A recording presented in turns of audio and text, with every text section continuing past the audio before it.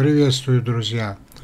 У каждого из нас есть желание повысить э, уровень э, э, качества своей жизни, добиться каких-то целей.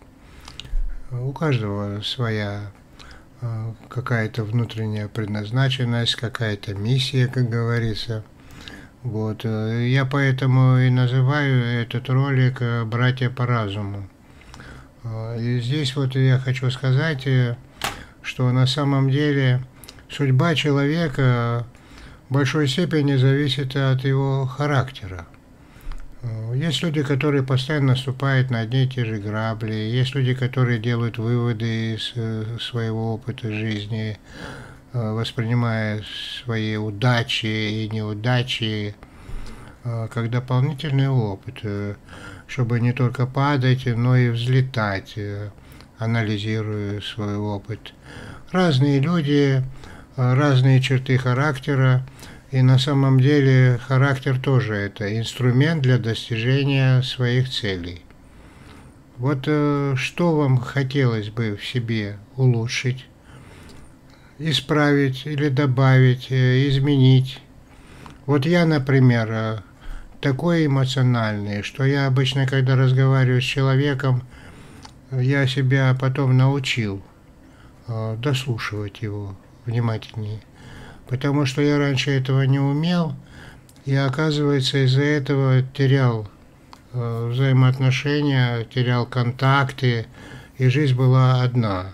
Потом, когда я понял, что надо дослушивать, э, чтобы понять, что он хочет сказать, и, и потом вдруг оказалось, слава Богу, что я понял это – и сразу открылись эти люди мне, совсем, может быть, где-то и с другой стороны, какие они интересные.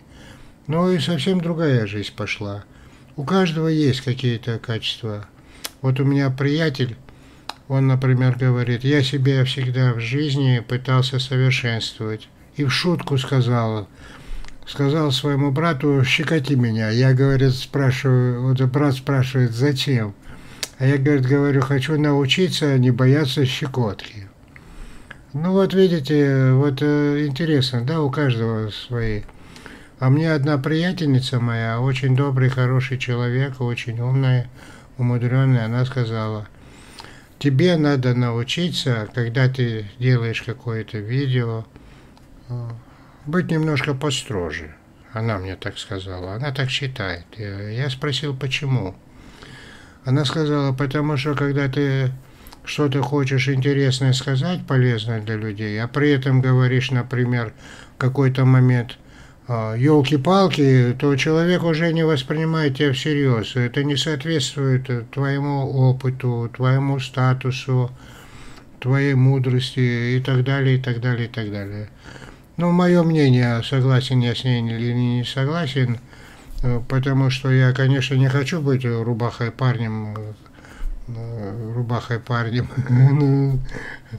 Ну, послушайте, у каждого есть э, свои черты характера. Я какой есть, такой есть. Но я себе позволяю. А может, не надо когда-то позволять. Пожалуйста, напишите в комментах, если вы хотите достичь каких-то целей в жизни, повысить уровень качества жизни – и у вас почему-то не получается, подумайте сейчас, э, что бы вы хотели в себе улучшить, э, что хотели бы добавить или что убавить или что изменить.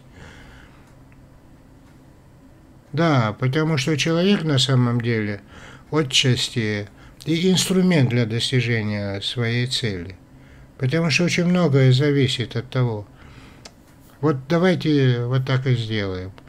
Напишите мне в комментах, что бы вы хотели в себе добавить, изменить, улучшить, изменить или еще что-то прибавить, усовершенствовать. А потом я в следующий раз как-то из роликов скажу, как этого достичь. Это будет очень э, правильно, очень интересно, если вы так отнесетесь э, к себе, э, как к способу достижения своих же целей, своих успехов.